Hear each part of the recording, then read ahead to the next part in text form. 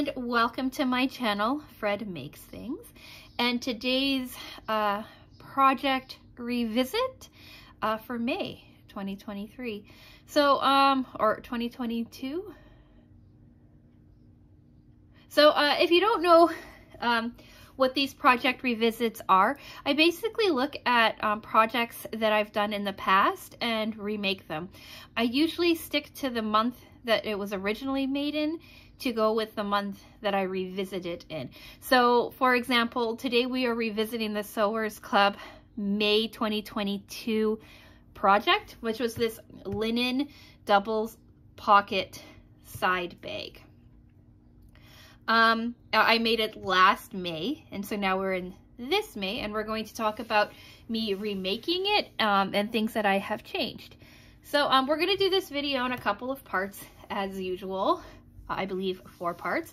Part one is talking about the bag in general, um, what the project was, um, and what I wanted to change about it. Part two is um, showing you the changes that I did make to it. Part three is pros, cons, and user error of the new bag. And then part four is final thoughts and sign off. So quickly before we jump into part one and what the original bag looked like, I just want to say if you don't know what Sewers Club is, Sewers Club is a monthly subscription box where you get everything you need to make one project. Um, I've been getting the box since January of 2020, 2021. Suddenly, I cannot remember. 2021, I believe. Yeah, I think it started in 2020. I don't quite remember how long I've had this box. That's kind of crazy. But anyway, I've been getting this box for a long time. Two and a half years, so 2021. Um, and I really enjoy it. Um, some of the projects I'm not a big fan of, and when those things happen, um, I either never look at the the project again, or um, I come back to it and tweak it to make it more usable for me. And that's what we did in this box. Um, yeah, so let's just jump into part one and talk about um, what the original bag looked like, what I liked about it, and what I didn't like about it as a like a review. So here's the original bag.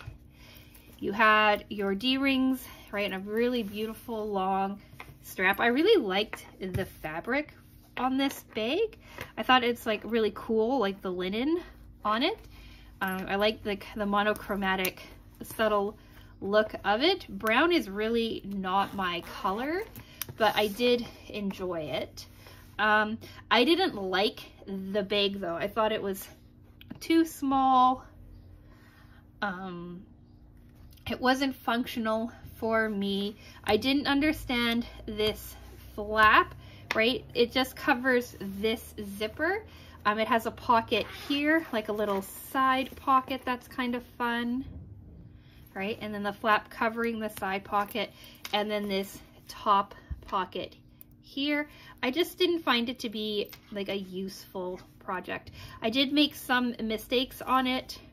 I didn't catch it all the way on some of these. Um, zipper tabs. This is when I started, um, they say make, Sewers Club says when you make your zipper tabs, make them about the width of your zipper. What I've been doing since this bag is making them slightly wider when I remember so that um, I catch all of this when I do that. It's not a big deal, like it doesn't mess with the structural integrity of the bag, but it is um, something that I noticed. Oh, they did, we did a ballot box on these. Hmm. Um, and then I also had like minor things like I accidentally um, put this here because I, I thought that I wasn't thinking straight and I thought that this snap went on this piece of fabric when it went on the front piece. So little things like that. Um, I've only used this bag a couple of times because I'm not a big, like I said, I'm not a big fan of it. I tried it out around like walking down to the grocery store and stuff like that, but it was a little too small to hold my reusable bag that I take everywhere with me. So I didn't really like that about it. But um, I did take it to, oh, see, this is bling too.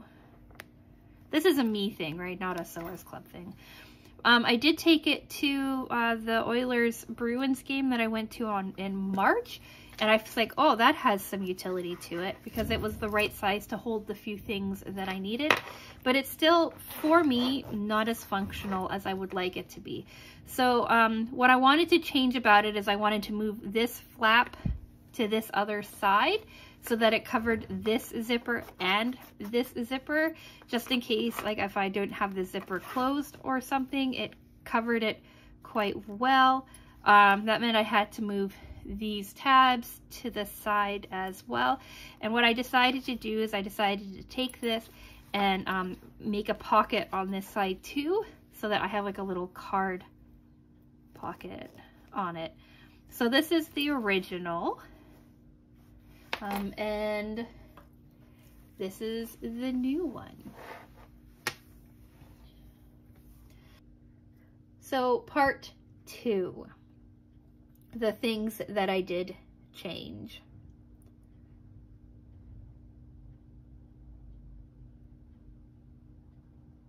So this is the uh, bag now, the new one that I made. Um, I'll show you the changes that I made next, but first I just wanted to discuss like how I picked my fabric. So if you saw my fabric haul from last month, I want to say, end of last month, I picked up this fabric, right? I got this lovely fabric and I got this lovely fabric and I was going to make this bag out of these two fabrics but when you look at them together, it's too much of the same. It's a bit too busy. They're part of the same collection, but I just found it to be a bit too much. So what I decided to do is I decided to add um, either like a white or something, and I um, had this black and white polka dot from a different project laying around. And so I did that instead. So instead of this beautiful red fabric here, I went with these two fabrics instead. And I think that it balances it out a little bit better. So the things that I changed. Um, A, the, the color scheme, right? The original color scheme was this really great monotone brown. Um, if you got this box, um, you would have also seen that they had it in this black and uh, beige khaki kind of color too. Um, or there was also a green version as well. I believe my mother-in-law got the green version. Here's a photo of it up on the screen for you. Um, if you do want to see a walkthrough of how to make this particular bag, um, I have a link here for you on screen if you want to go to that, um, or um, it'll be linked at the end of the video as well. And basically, um, what that video is, is it's the original video of me walking through how I made this, breaking down the steps for you, along with some other little things as well. But in this video, I just want to talk about things that I changed. So yeah, let's go back to that. So here's the new bag. I did it this beautiful like plum blossom kind of fabric for the majority of it. Um, and then I did this black and white for um, the contrasting fabric. On this one here, right, I did the same thing. The backs are both contrasting. The fronts are, this one is a contrast. This one I did the same for both because I like the look of that better. Um, the interior flap, right, is the same contrasting fabric. Your interior pocket, which is done on opposite sides, this one is the black and white, so the contrast. This one is the floral, so the contrast. Um, and then the interior for this one is the floral as well. And that's what I did on this one, is the floral on the interior as well. So the really only big change that I did is I made the flap the same as the front flap. But I kept everything else um, basically the same in layout. Um, my biggest change is I moved the D-rings from the top to the side because I wanted to encase my in or my top pocket inside of the bag. So it's inside of the flap now rather than outside of the flap. And how I did that is I extended the flap onto the back, like a different bag that we made um, two years ago, I want to say. Um, again, the thumbnail for that is on screen for you and a link um, if you want to check that out. This is a bit off center, but we'll talk about that in a minute. Um, and what I did is I made an interior little card pocket flap on the other side of the zipper. So here is the Walgreens card that I use for everything. And it just sits in here now, just like that, nice and secure. So that um, if you want to be able to reach like a credit card or your debit card or some like cash or whatever, you can just have it sitting like right here, easy to grab. So that's the main change that I made. Um, I also changed the orientation of the zipper, but that was accidental. Um, and yeah, I think that's it, the main changes. So to reiterate that babbling nonsense, the main changes that I made to this were I moved my D-ring tabs to the side, I created a longer flap to have a pocket, and I um, put the zipper on the inside.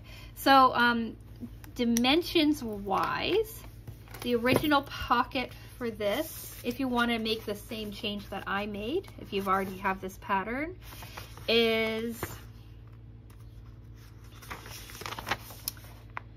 um I have this folded wrong. All right, so the original dimension on this exterior um, pocket cl flap closure was five by five and three quarters, and I added three inches to it, so it became five by eight and three quarters. So this is a complete piece and it's eight and three quarters, adding those extra three inches to make the pocket. And then in assembly, which is way down in um, section 20, is instead of following this, mark the middle, blah, blah, blah, I said mark down three inches and center flap on the um, on your back piece. Um, and then check uh, placement of the snap to make sure everything works out perfectly. And I actually figured out a good way to do the snap too. So what I did is after I had it all placed out, I made put this snap in first, right? And then what I did is I took a pen, like a marking pen. This isn't a marking pen, but to give you an idea, I took this marking pen. I laid out my snap where I wanted it to be, and then I just lifted it up a little bit and I marked right at the bottom of where the snap was hitting, or like where this end here was hitting on this fabric. So, right, like we'll pretend that this, which we'll talk about in a second, sits here, right? And I'm like, okay. So this is my new piece of fabric, set the snap in, find where that um, piece is hitting, just like that. And this is, I know where the bottom of the circle is, right? Where the bottom of the female end, or of the male end sits, right? So that's like right here. So then I knew where to mark my um, spot for this guy. So it sat perfect. I just figured that out myself, so I thought I would tell you all about it too. So yeah, that's how I did this. So in part 20, um, when you're attaching your um, flap, you just put it in a different spot. Or maybe the flap was attached further up. Oh yeah, so right here, where it says sewing continued, right? It says center the top unsewn side of the flap closure, blah, blah, blah. I just wrote no. And then down here in section 20, I um, wrote down where the I attached the flap instead. Um, I hope that makes sense. If not, ask in the comments and I'll try to make it more clear. So yeah, those were the changes that I made. Um, I also had this guy floating around from a dollar store cross stitch project and it was the perfect size of circle to make the curved edges. So I just clipped um, little points on here to show me where I needed to line up my um, template to do the curves. What I should have done is centered it better so that um, the A was more balanced because that kind of threw me off when I was tracing the template out, but I could have used the back too. So that's what I used instead of trying to find a template or make a template or whatever is I had this and it was the perfect size. All right, so let's talk, actually before we do pros, cons, and user error, let's talk about like what I can fit in to here. My biggest complaint is it's not big enough for my wallet, but like I said, I've decided to use it differently than I thought I would. So this is large enough to hold some cards, right? Some cash if you want. Um, if you can also put like your AirPods in here too, it holds well. But um, when I was rifling around in this section here, um, my AirPods went flying and um, it landed in the middle of the street. They survived. A car drove right over them, but like their tires didn't hit. So that was nice. So I don't know if I'd recommend your AirPod case sitting in there, but they, it can. Maybe if you sewed like a little snap or something, you could get it in. But anyway, I designed it for cards. So you can put cards on this side. In here, you can fit quite a bit as well. Um, I have some flat sunglasses. I have a snack. Um, I have my old iPhone, right? This is like a monster. This is a 6S Plus, I think it was called. Right, it can slide in there as well. Zip up, right? You can slide your AirPods case in there or headphones or whatever. These are my husband's keys because I cannot find my own, right? Those can sit in this front pocket if you want. And close it up and there you go. And Or you can move things around. So you can get quite a bit of stuff in here if you want to. But yeah. Um, I have been carrying this around a little bit, but um, not a whole lot. What I did this pocket for too is I keep a mask in there that's easy access just in case I need it for anything. Especially now with like allergy season, I'm sneezing up a storm and it just feels nicer to have like a mask covering my face when I don't, when I like go into grocery stores or whatever. Just in case if I start sneezing, I don't look like a crazy person. So yeah, that's this. Now let's talk uh, pros, cons, and user error. Um, I like it. I like it a lot more than this guy. I find it to be a little bit more functional and I really like the um, flap closure going over top of it.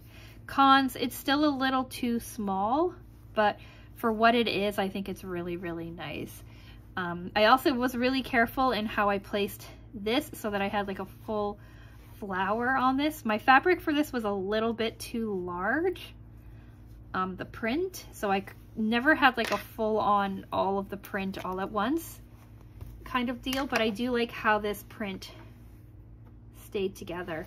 Um, I forgot what I was doing and I made the original um, snap closure on this side first and then I'm like oh wait that means it's gonna point down and I want it to point up but I have this rose gold handmade tag um, sitting around from last September's box. So I just added the handmade to take on that so that you couldn't tell. Um, and then it's all good.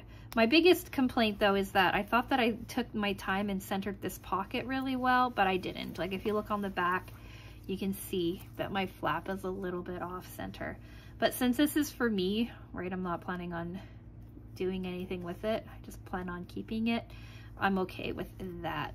Um, the other thing I just noticed is that I just have like a simple um, closure, like just a simple uh, stitch holding these in place. Like I ran over it a couple of times, but this looks like they did a ballot box to really hold down the flap or the um, strap so it doesn't go anywhere. Yeah.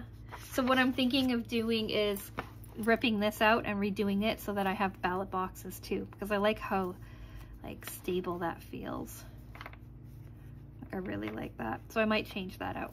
But yeah, so that's the finished bag. What do you think? Do you like it? Do you like the colors that I chose? Would you have rather have seen um, me use this instead of the black and white or do you like like the high contrast part of it? I'd be curious to hear all of that down in the comment section below.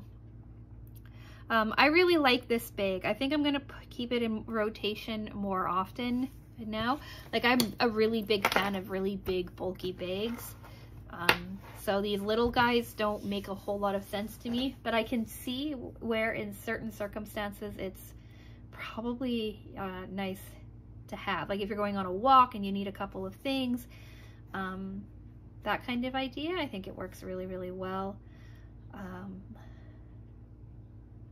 or like if you're maybe like at a farmer's market or something and you need to have like some things on you and you know that you have like a basket or something that you're carrying all of your stuff in maybe it's nice to have like a like a small dedicated little bag for that and then like a larger bag to just throw things into. I don't know. Let me know what you think in the comments section down below. I'd be really curious to hear what you have to say. So yeah, um, that's this month's project revisit.